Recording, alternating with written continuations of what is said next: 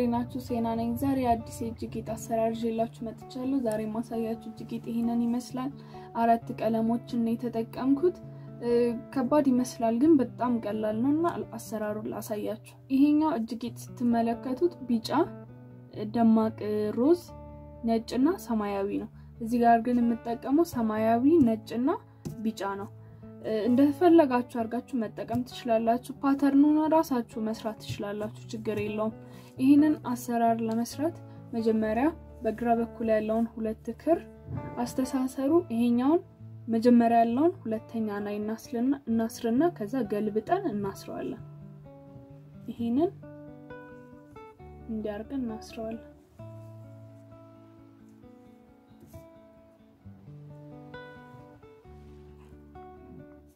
ከዛ እንገለብጠውና ይሄኛውን እዚህ ጋር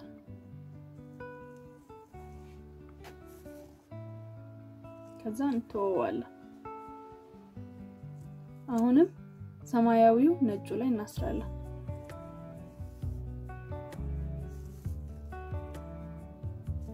ከዛ እንገለብጥና ሰማያዊውን አሁንም ነጭ ላይ ይሄ የምናደርገው ይሄ ሰማያዊ ክር እዛው እንዲቀርልን ነው።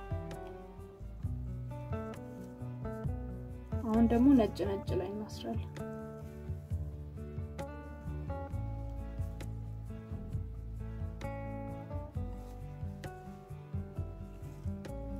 መጀመሪያ ላይ ስንሰራው ትንሽ ሊበላሽብን ይችላል።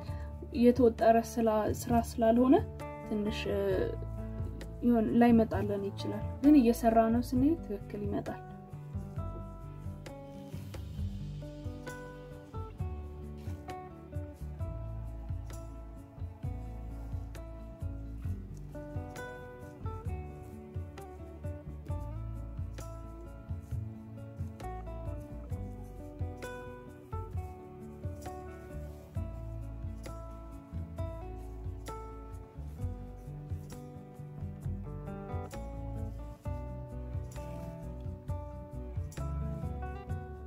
ያሰርንበትን ክር ሁሌ እየተውን ወደ ሌላኛው ክር ነው የምንሄደው።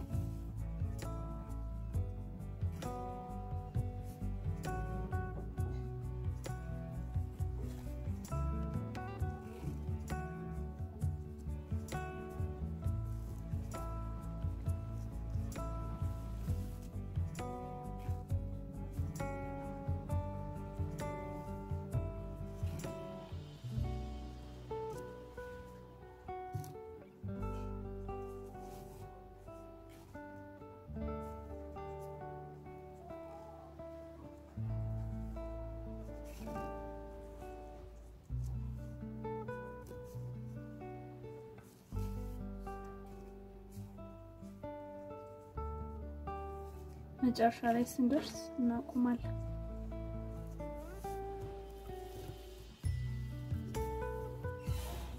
ከዛ አሁን ደግሞ እንመለሳለን እንደገና ቅድም ከግራን የጀመርነው አሁን ደግሞ በቀኝ በኩል እንጀምራለን።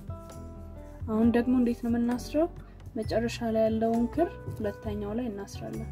አስተሳሰሩ ደግሞ አንድ ወደ ኋላ አንድ ወደፊት ነው። አንድ ወደ ኋላ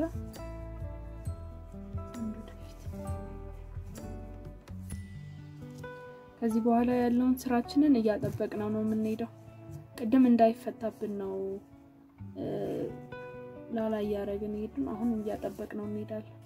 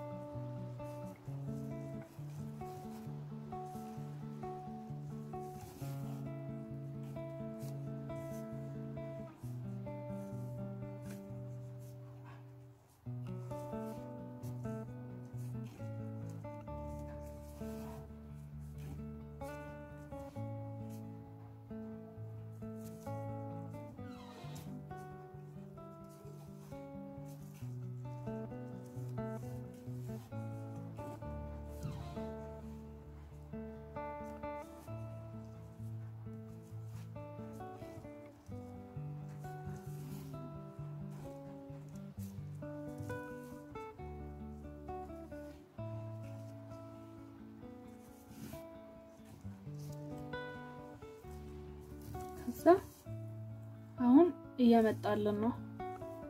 አሁንም እያጠበቅን እንሄዳለን።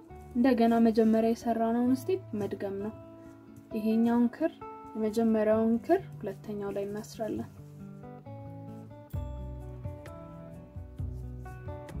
ወደፊት ወደኋላ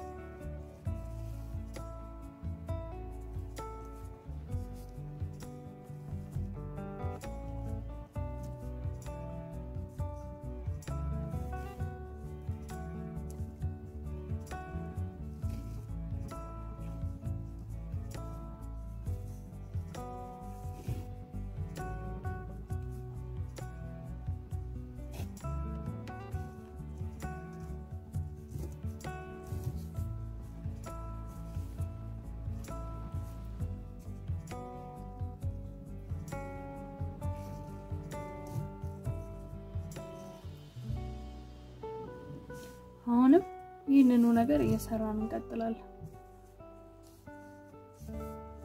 ይሄኛውን እዚህኛው ላይ እናስራለን።